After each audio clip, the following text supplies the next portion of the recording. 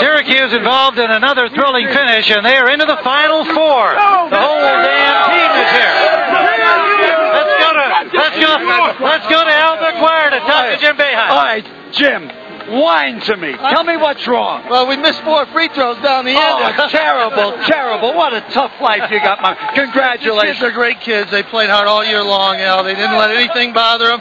Tough home court here with Oh, Kansas. whine, These guys played whine. great all Whine year long. some more, my man. Otis Hill, 15.6 rebounds, our player of the game after 19 against Georgia. The Big O had some foul problems today, but you hung in there again.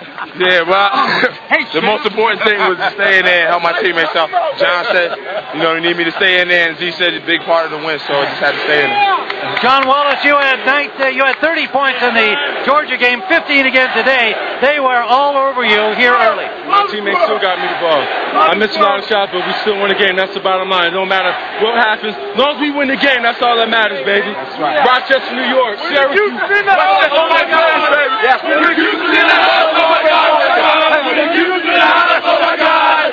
Syracuse is in the house. Oh my God. Oh my God. Don't lose our coach.